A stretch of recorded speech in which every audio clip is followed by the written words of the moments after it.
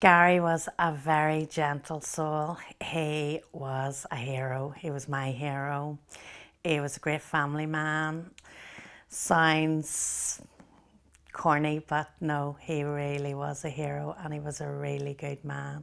He was very brave. He had a face for everyone else and really him and I were the only two that knew exactly what was happening. The GP recommended that the hospice nurse Leanne came out to see us, which she did. Uh, Gary hadn't really informed me of that, so it was quite a surprise when Leanne arrived.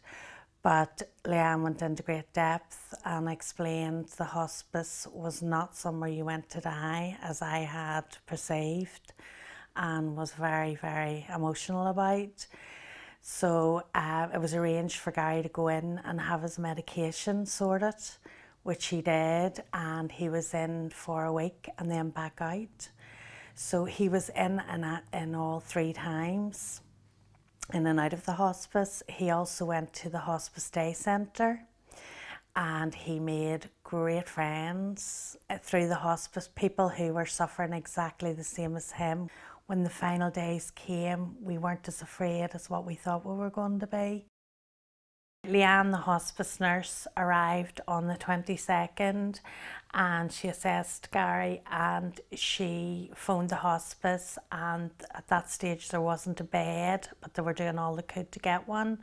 So Leanne didn't, the hospice nurse didn't want him going over the holidays without a proper hospital bed.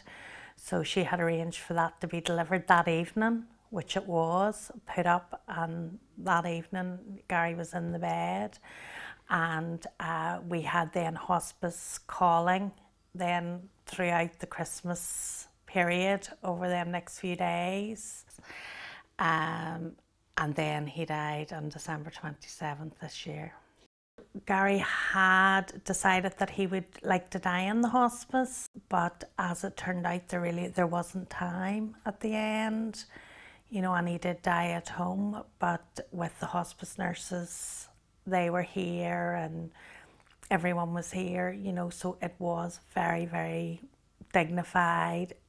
I would not be sitting here 10 months later if it wasn't for the hospice.